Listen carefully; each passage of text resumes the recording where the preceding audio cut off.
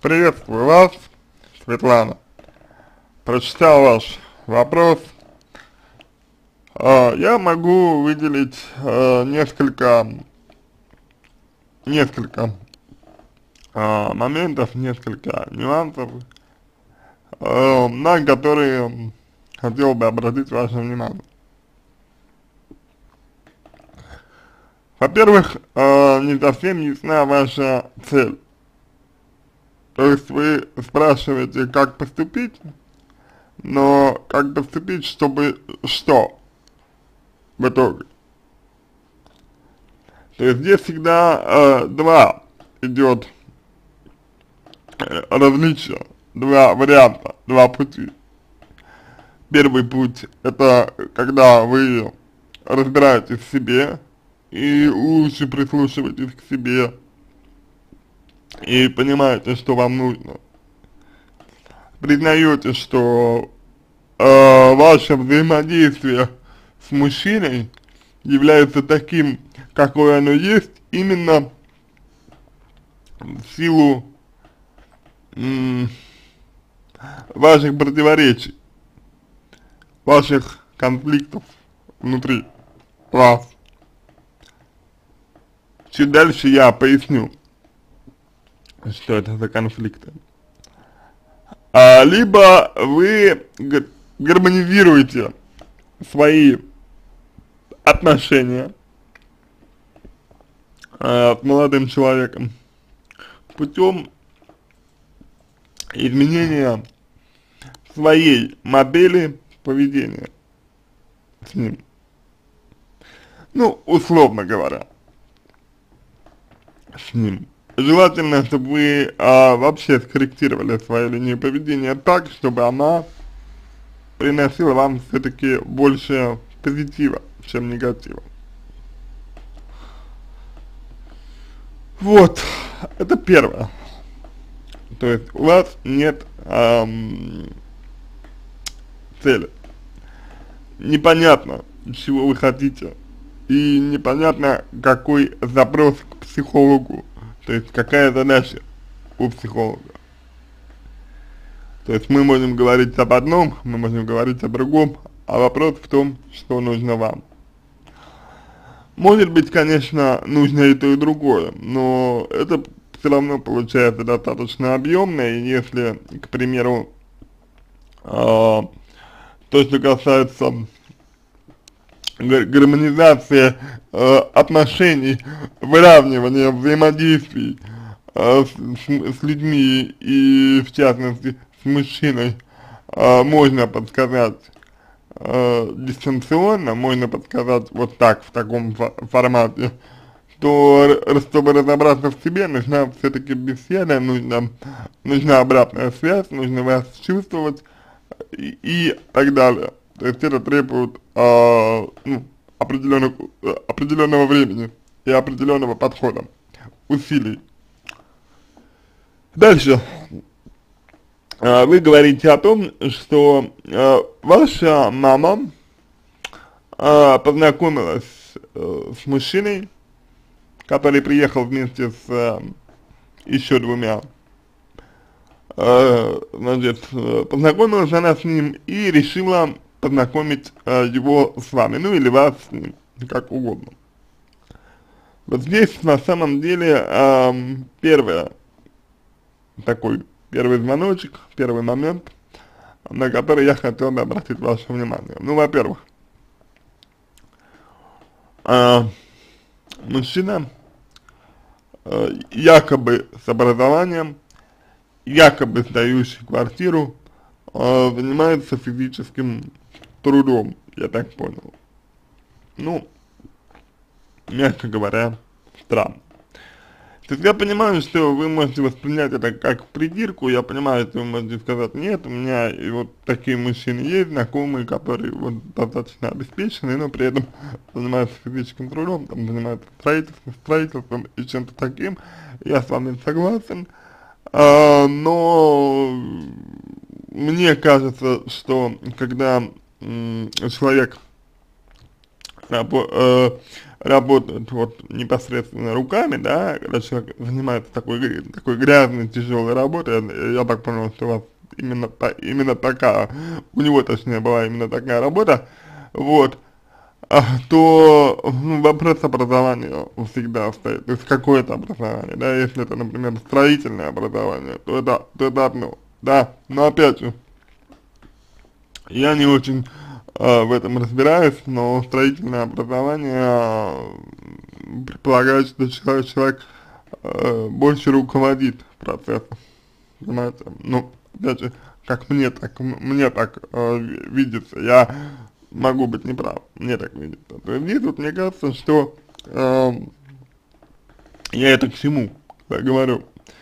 Э, я это говорю к тому, что э, ваша мама, она почему-то решила познакомить э, вас с ним, да?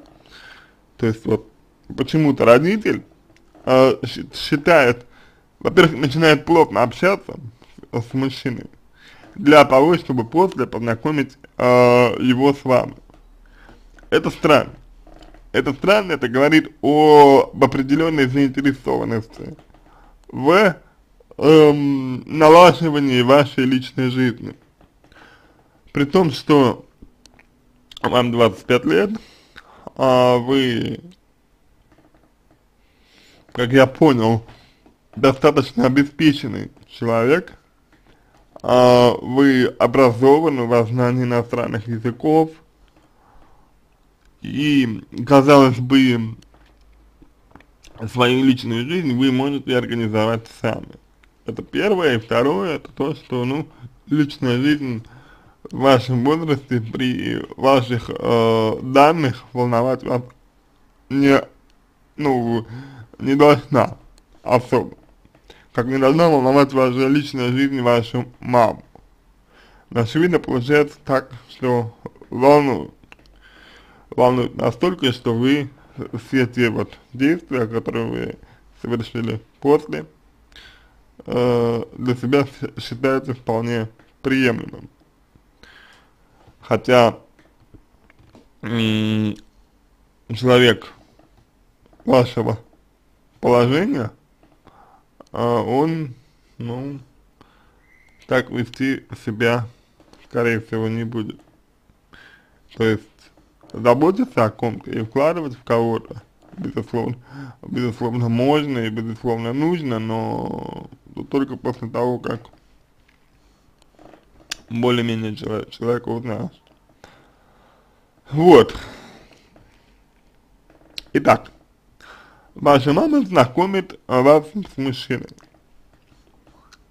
А, то есть вы понимаете, я хотел бы этот момент раскрыть, да, почему ваша мама начинает плотно общаться с мужчиной, почему она считает для себя возможным э, знакомить э, вас э, с мужчиной, который понравился ей, э, не настораживает ли вас тот факт, что вам и вашей маме, по сути, понравился один и тот же мужчина, что говорит о том, что у вас э, имеет место быть родительский сценарий, вот, причем прямой родительский сценарий, да, то есть есть такая вот, такая, такая вот э, история, когда э, человек движется прямо вот по пути э, своего родителя, то есть у него такие же вкусы, как у родителей, у него такие же взгляды, как у родителей, ну, в общем, он очень похож на своего родителя.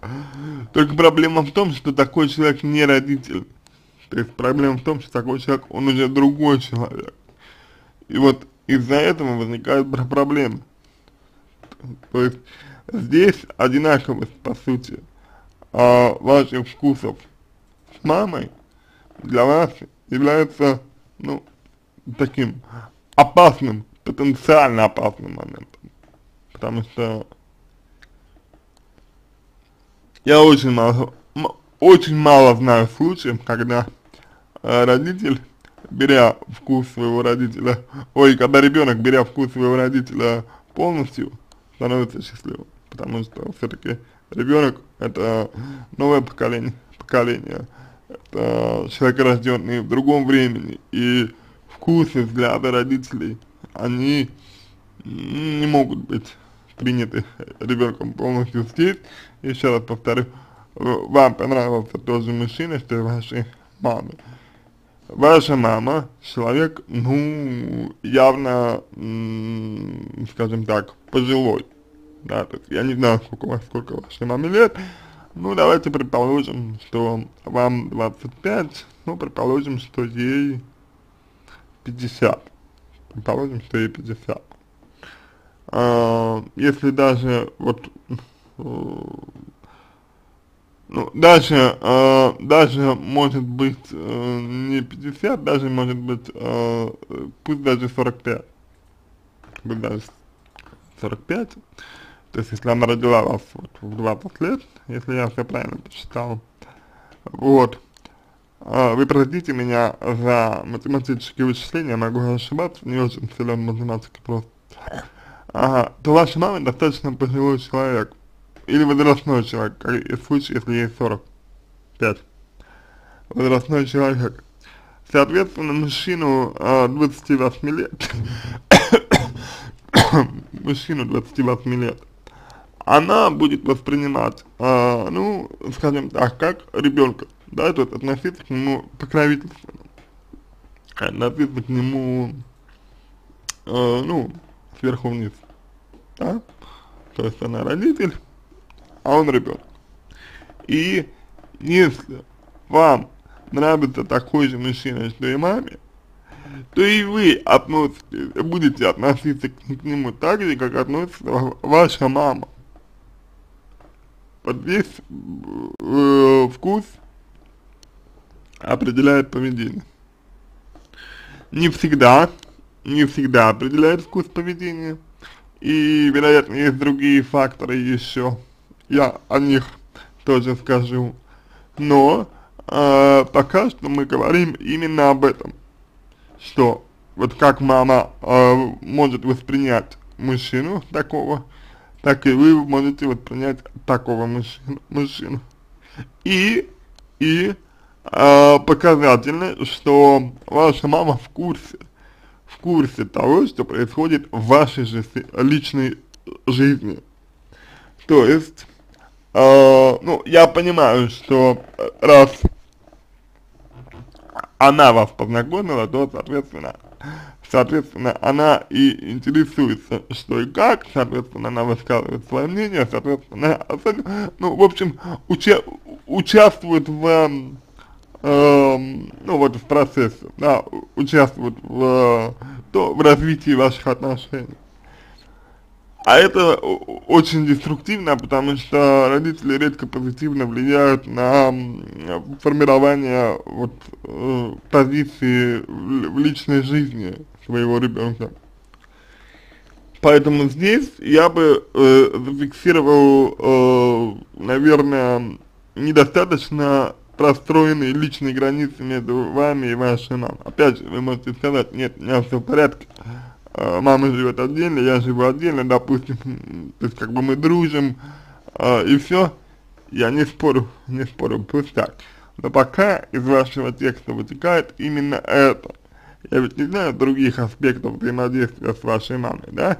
Я опираюсь только на то, что есть в вашем тексте. А в вашем тексте, тексте есть то, что мама в курсе того, что это молодой человек, мама в курсе его признания, и вот совершенно непонятно, почему, почему то э, все, все э, мужчина признается вам, э, вы рассказываете э, своей маме. То есть, как бы, ну, это, не, ну, мягко говоря, это неуважение к э, тому, чем мужчина делится. То есть, я не уверен, что хотел бы, чтобы то, что э, он рассказал вам, э, стало бы известно, например, вашей маме. Здесь, опять же, для меня загадка, зачем вы это маме рассказываете. И, скорее всего, у вас есть основания для того, чтобы раска рассказывать. Скорее всего, вы знаете, для чего вы это делаете, но это, это является, является как раз таки то, чем я называю недостаточной простроенностью личных границ. Это происходит между, между вами и вашими мужчинами, неважно, неважно какими, маму не касается. То есть она вас познакомила, это было ее право, это была ее инициатива, но это не обязывает вас к тому, чтобы что-то рассказывать. И даже если, вам хочется, надо рассказать что-то о своей э, личной жизни, то делать это нужно очень осторожно, потому что легко э, получить, получить негативный, не отклик, а импульс. Вот. Есть, конечно, здесь исключения, здесь есть нюансы, э, но в целом вот э, ситуация выглядит так, да? Дальше, дальше. А, вы говорите, что вы понравились э, с мужчиной друг другу с первого взгляда, с первого момента. Ну, мне, честно говоря, не то чтобы я не верю любовь с первого взгляда, в симпатию с первого взгляда, просто мой опыт говорит о том, что когда люди вот так э, пересекаются по сватовству своего рода, хотя я не знаю, опять же, степени участия вашей мамы в том, что она делала, э, то происходит некий элемент идеализации, происходит некий элемент эм, романтизации человека. То есть вы, например, не оказались не готовы столкнуться с реальностью в виде э, того, что у, мужч у мужчины действительно есть и какой у него действительно там багаж, знаний и прочее. Э, как и ваша мама тоже, понимаете. И если бы не было вот этих обстоятельств, которые, вероятно, усилили э, степень идеализации, то, ну, возможно, вы бы быстрее как-то пришли к тому, что мужчина не совсем тот, кем он изначально представляется, и сделали бы выбор.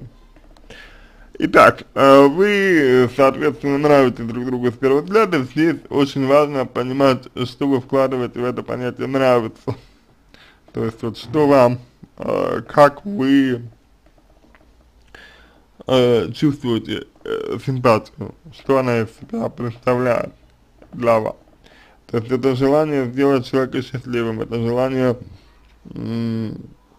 заботиться о человеке, это желание что-то получить от него, это желание э, реализации каких-то перспектив в будущем.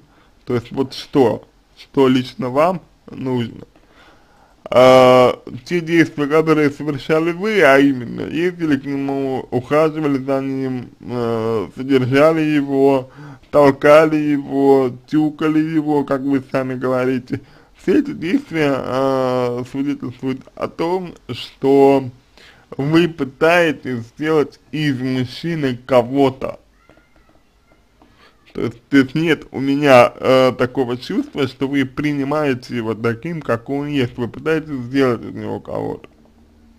Так что про любовь здесь речь не идет. Вопрос только в том, для чего вы хотите сделать из него кого-то.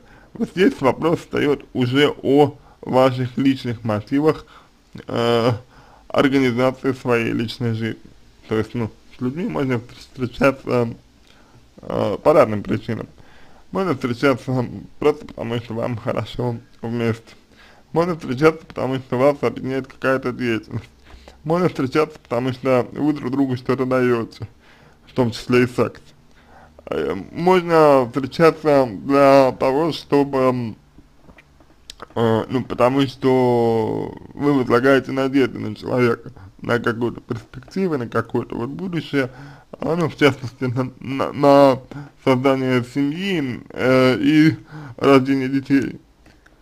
И вот э, последний вариант, когда мы встречаемся с человеком, э, пытаемся сделать из него кого-то, как вы пытаетесь это сделать, э, по сути вы реализовываете свои желания. Или желания, желания э, скажем так, своего близкого круга людей которыми могут быть и родители, и друзья, и нечто, что составляет вас, ваш э, социальный статус.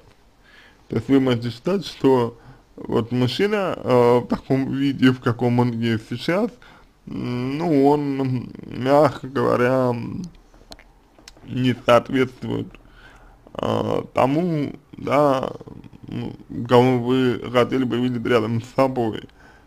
Но вот беда, а, откажись вы от него и перестав вы с ним, вы с ним выстраивать отношения, а вам придется искать нового мужчину, а это достаточно тяжело, тяжело. И это, соответственно, сразу открывает несколько э, таких э, проблем, да. А, Во-первых, построение отношений для вас является чем-то чем сложным. Во-вторых, а вы, ну, как вам кажется сложным. А, Во-вторых, а вы не полагаетесь в отношениях на собственные чувства, на собственные желания, потому что вы тянули лямку, вас коробило, но вы проглатывали, вы молчали, не высказывали свое недовольство, то есть вы себя пересиливали, вы себя пересиливали в отношениях ради какой-то цели. Какая это цель? Почему она для вас так важна?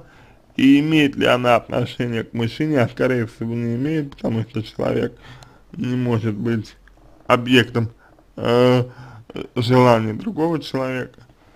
Ну, я имею в виду в том, что касается отношений. То есть мы, мы можем хотеть, хотеть там что-то от человека получить, это нормально абсолютно. Вот. Но это не является, не может быть самоцель, потому, потому что самоцель, она делает нас как раз таки зависимыми от другого, да? Это, это такой момент. Далее, далее, вы по отношению к человеку ведете себя как родитель. Вы его, вы, вы, о нем заботитесь, вы его обеспечиваете, вы его опекаете, вы его, вы его подталкиваете, то есть по сути вы мать вы мать. И вот здесь, э, здесь, я бы сказал, э, очень важную, на мой взгляд, вещь, которая вообще-то вообще-то является центральной. Я старался так э, мягко вас к ней, к ней привести, я не знаю, насколько у меня это получилось, но я старался это сделать. А, суть заключается в том, что ваш текст это не текст а, 25-летней девушки, даже образованной, даже а, значит, хорошо знающий язык. У вас не текст 25-летнего человека, у вас текст 35-40-летнего. То есть вы явно взрослее своих, своих, своих лет. Вы ведете себя как явно взрослее своих лет. Понимаете? О чем это говорит? Это говорит о том, что вы не склонны, э, опять же, слушать себя, вы не склонны прислушиваться к своим чувствам, вы не склонны следовать своим желаниям. Вот вас погоробило, вы это не выразили, вам не понравилось, вы это не выразили, вы чувствуете, что тянет, тянете все одна, вы это не выразили, вы ощущаете, что вы тюкаете, толкаете мужчину, и вам это не нравится, вы это не выразили. Вместо этого вы пытаетесь подумать, а стоит ли быть с этим мужчиной, то есть когнитивно, интеллектуально это решить. Но ведь такие вопросы не решаются интеллектуально. Такие вопросы решаются очень просто, хочу, не хочу. Но вопрос здесь возникает в том, насколько вы привыкли полагаться на свое хочу и не хочу. И вот, и вот исходя из того, что вы пишете, я полагаю, что хочу, не хочу у вас очень мало. Есть у вас только надо, должна и все. И если у вас действительно превалирует надо, должна и обязана, то ничего удивительного в том, что мужчина понравился вам с первого взгляда, нет. Те чувства, которые вы в себе подавляли, концентрированно проявились вот здесь. Нет ничего удивительного, что вы чувствуете к нему, может быть, привязанность потому что, опять же, э, чувства, которые вы не выражаете, компенсируются, сублимируются в такой вот форме. Соответственно, чтобы здесь э, уравновесить ваше, вашу заинтересованность в мужчине необходимо начать больше выражать чувств. Необходимо больше полагаться на свои хочу, не хочу. Необходимо вести себя менее по-взрослому, как вы себя ведете сейчас. Менее родительски и больше по-взрослому. Необходимо быть рав равной мужчине. Ну, или за его спиной. Но никак не выше, не выше, потому что, находясь выше, вы становитесь его мамой, а мама, как известно, э, подавляет мужское либидо. Вот. Дальше. А, вы говорите о том, что, э, значит, ну, вы ездили к нему, к нему в город, э, он сказал, что у него есть квартира, вы поверили, я полагаю, что поверили вы ему, потому что, ну, потому что были охвачены своими чувствами, и потому что не хотели признавать, что есть, что могут быть какие-то трудности в этом, слишком все хорошо складывается. У меня вопрос э, к вам только один. Почему вы считали для себя приемлемым к нему ездить, да, в город, и почему вы считаете для себя приемлемым делать все, что вы делаете, толкать его, тюкать, чему-то мотивировать и так далее. Почему вы считаете для себя это приемлемо? По какой причине вы не принимаете человека таким, как он есть? Дальше он сделал вам предложение перед Новым годом. А, поправьте меня, если я ошибаюсь, но все достаточно быстро у вас, а, на мой взгляд, двиг... Э, ну, развивается достаточно быстро. То есть, я не знаю, сколько прошло времени, по времени вы не, не очень хорошо описываете, но предполагаю полгода, если э, сделать ставку на то, что ремонт, э, фундамент, э, ну вот те работы, которые мужчина делал, да, э, вот, они происходили летом. Полгода прошло, мужчина делает вам предложение. Ну, если действительно полгода, то срок, в принципе, нормальный. Хотя, мне кажется, достаточно быстрый. Ну, то есть, достаточно быстро все это происходит. Далее, Далее мужчина э, признается вам в том, что врал насчет квартиры и насчет своих, своих образований. И здесь еще один момент. Почему человек врет э, насчет своих достоинств? Почему человек пытается их преувеличить? С одной стороны, потому что человек сам себя стыдится. Это проблема вашего мужчины. Он сам себя стыдится. У него есть, конечно, могу, у него могут быть и другие мотивы, а, вот, но ложь это следствие стыда. Первое. Второе. А, человек врет тогда, когда чувствует, что от него хотят больше, чем он из себя представляет. Что от него у его партнера, неважно какого,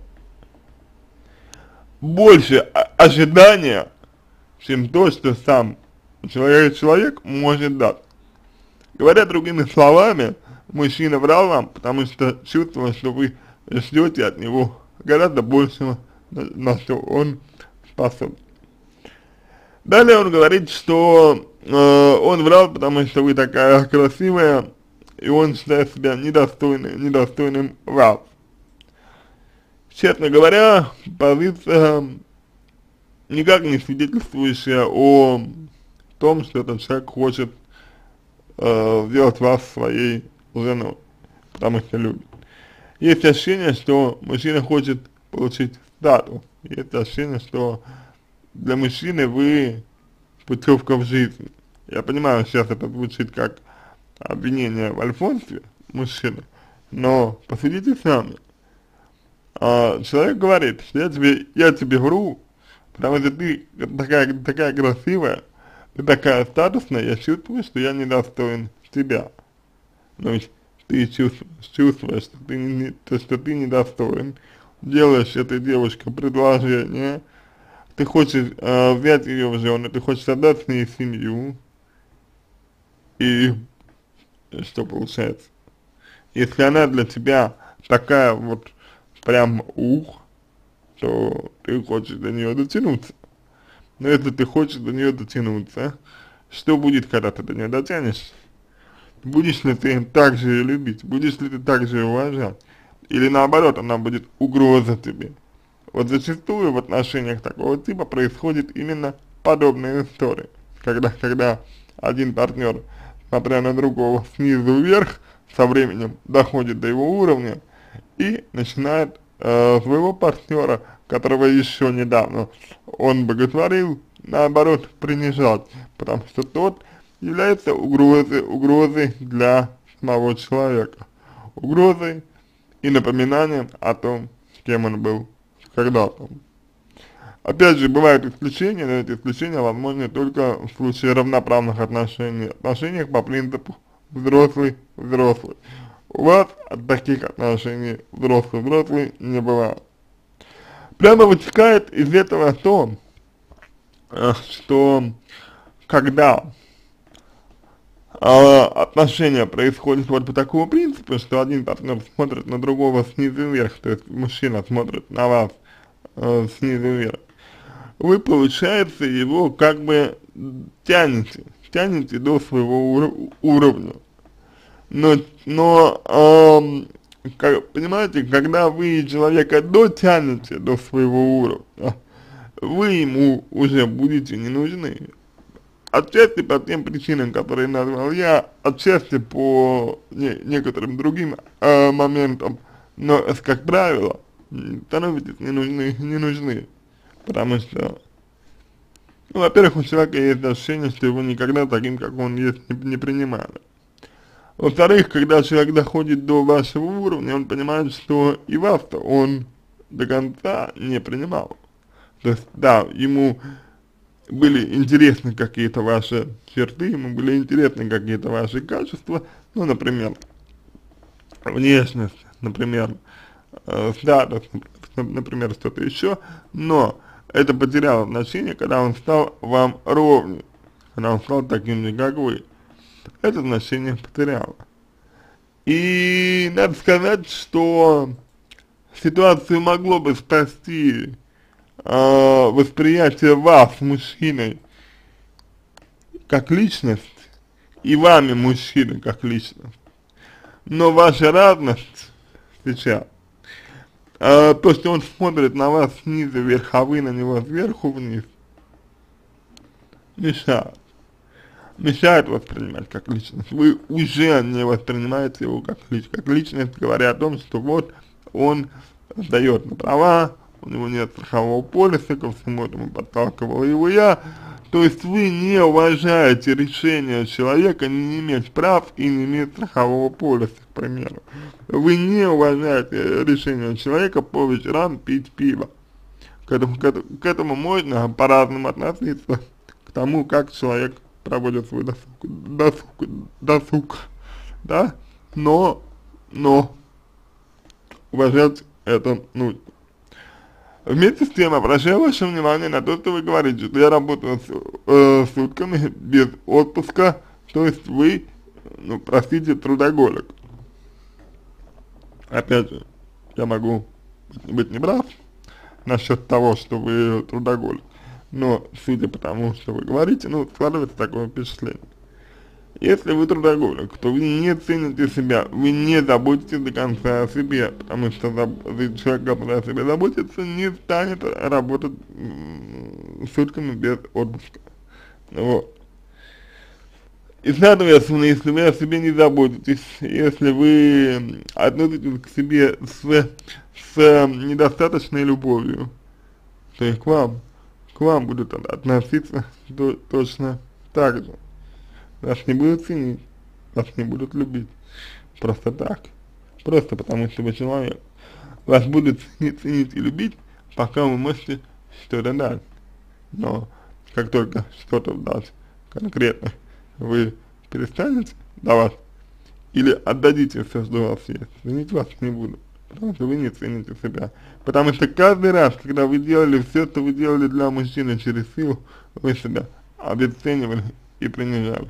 И именно так мужчина будет относиться к вам, когда у него не будет нужды в вас. Он этого сам еще не знает. Вы поймите, он не какой-то гений, э, э, гений обмана. Он не гений обмана. Все, что он делает, он делает искренне, я в этом уверен. Он искренне э, вам врал. Он искренне хочет быть с вами, он искренне делал вам предложение. Все это искренне. Я вам говорю о подоплеке отношений. Я вам говорю о самой их природе, хоть хочется верить. Я вам говорю о вас самой. О том, какая вы и какие отношения, благодаря тому, какая вы, вы строите. И эти отношения будут прямым отражением того, как вы относитесь к себе. И коль вы работаете без, без отдыха, коль вы не заботитесь о себе, коль вы не цените себя, коль вы обесцениваете и принижаете свои чувства и, и желания, коль у вас есть проблемы с личными границами, коль у вас есть подавление свои, сво, своих импульсов, то именно так будут относиться к вам, э, э, ну вот, мужчина, или ваш мужчина. Ведь заметьте, вы выбрали того, кто даже при условии, что у него есть высшее образование и квартира, был вам не равня. Ведь э, ну, вы, вы же вот ездили к нему в город. Я уверен, что вы не считали его, его равным себе. Я уверен, что вы сейчас равным себе его не считаете. Сейчас и подавно, но тогда уже не считал. Хотя не исключаю того, что вам будет сложно это признать. Итак, э, ваш вопрос, э, мой ли это мужчина, э, и что вообще дальше делать, ведь вот я э, квартиру сняла, оплачиваю ее, а она стоит, он не может сдать, набрала, валит теорию. Смотрите, я допускаю, что между вами э, могут быть искренние чувства. Но эти искренние чувства разобьются о все те проблемы, которые я озвучил вам. Если вы не хотите того, чтобы они разбились, если вы не хотите сюрпризов в дальнейшем, то начните думать о своих чувствах, начните думать о своих желаниях, начните думать о том, чтобы перестать пересиливать себя и заботиться о себе. Начните отдыхать в конце концов. Спросите себя, почему мужчину подбирает вам мама, а не вы сами, хотя вы говорите, что вокруг вас много мужчин. Не связано ли это с тем, что вы боитесь близости, боитесь сближения, или может быть есть еще какие-то моменты, к примеру, э, такая вот э, проблема, что те, кто нравится вам, точнее, те, кто нравится вам, не проявляют симпатию к вам, и наоборот. Признать этот факт, что вы слишком взрослая, даже по тексту, признайте тот факт, что вы игнорируете себя, игнорируете свои желания, все пытаясь решить интеллектуально, а это не является вами, это не вы, знаете. вот.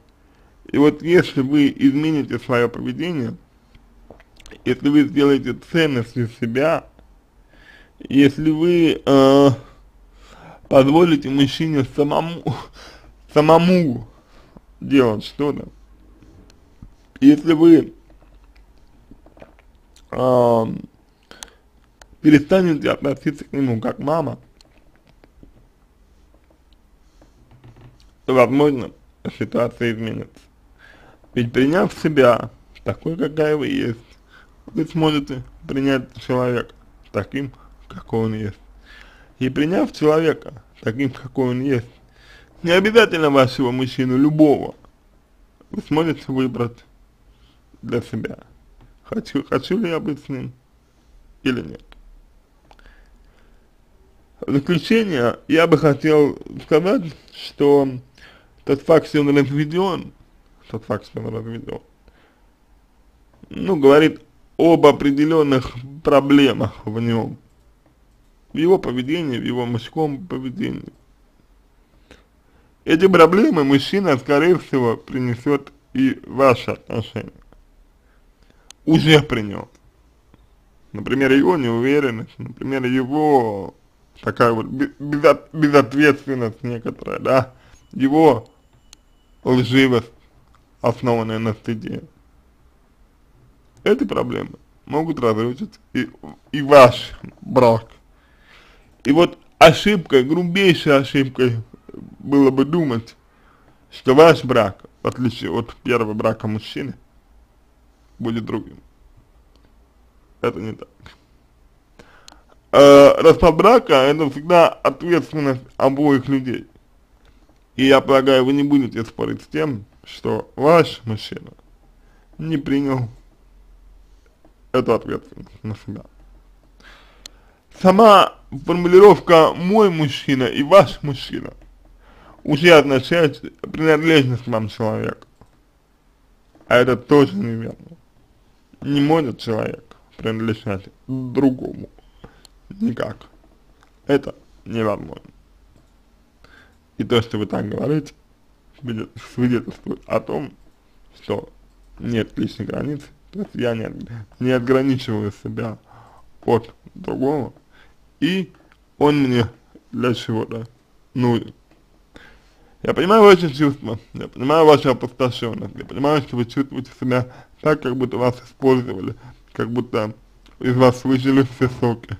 Я понимаю, но это сделали вы сами. Вы сами все это делали. Вопрос в том, для чего и почему вы себя пересилили, почему вы э, важность что-то сделать для другого считаете выше важности позаботиться о себе самой. Вот на этот вопрос вам нужно ответить. Я надеюсь, что помог вам, если понравился мой ответ, буду благодарен за его оценку в качестве лучшего. Я желаю вам всего самого доброго.